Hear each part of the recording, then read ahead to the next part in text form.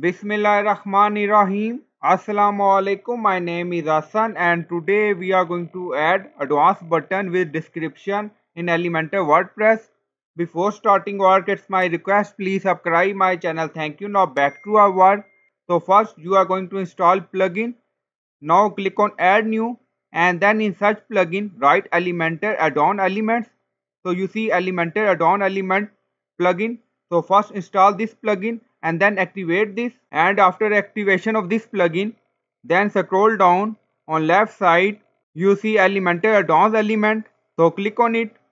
Then here you see different elements so you will enable disable according to your requirement and then click on save changes. Now go to page and refresh the page. Now on left side you see search widget right here advanced button. Now you see EAE advanced button drag and drop here. And now you see button is added now you see title and description. On left side you see layout. So right. And then you see bottom layout. And then you see content title and then description. And then you can add link. And also if you want you can add icon. So click on icon library. And you can select icon according to your requirement and then click on insert. And then you see icon position. And then you see show separator. This is separator line. Then you see alignment and scroll up you see style. So click on it. And then you see normal and hover. Then you see background type and color. So you can select color according to your requirement. Now you see color is changing. So you can add color according to your requirement. And then you see border type and then hover. So you can add hover color also. So classic color. Now hover on it you see so you can do setting according to your requirement then back to normal.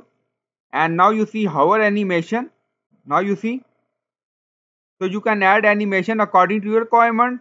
Then scroll down. You see content so click on it. And then you see title color. And then you see hover. So you can add hover color also. Now hover on it you see. Watch video. And then description hover color. White. Now you see so you can change typography. So click on it. So you can change font family size weight transform style and then you see icon. So click on it. And then you can change icon color also. And you will increase icon size like this if you want. And then you see border type. Now you see border type. And then you see separator. So click on it. So you can change separator color also.